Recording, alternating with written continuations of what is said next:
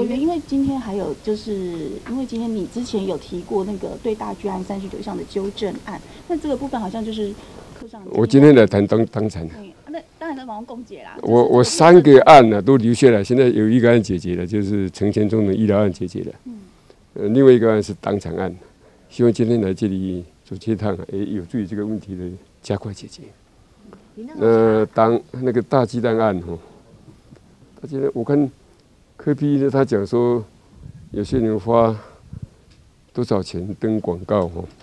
他他那个情况比我当年呢，那个眼雄在七大报登连续登两天的大版广告还小。我那个时候规模更大，规模更大。嗯，所以他可以去体会和品尝一下当年我们的滋味。我建议就是郭台铭那个太小气了，要去的。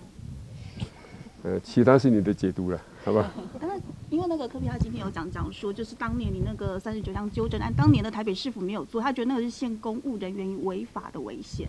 呃，我现在没有办法答复你这个问题。嗯，回到那个党产啊，就是说你那个时候查，其实这数字远比他们公布的还要庞大，对不对？哦，所以这个我是觉得这个时候恐怕全国各界，包括你们本身哈，对于党产这个概念。还有党产的种子哈，我看要一个厘清，要一个历史性的了解。那现在大家都抓住一个东西在谈一个问题啊，我觉得这样很难处理。那我今天是，我应该是等会后再来讲一下哈。这个，呃，我觉得现在对于党党产到底多少，好像没有人讲清楚了，好像任何人讲大家也不相信。现在问题问题是发展到这里，这个是非常可惜啊。这个当然造成这个原因呢，跟国民党长期累积啊，就国民党的不透明的，当成不透明的是有有根本根本关系。呃，所以因为这样，所以造成这个整个党产的不透明。因为不透明，所以大家讲的话，包括有关人讲的话，大家都不敢相信，因为相信就怕自己犯错了。所以这个是很大的一个，我认为是个很大的一个盲点。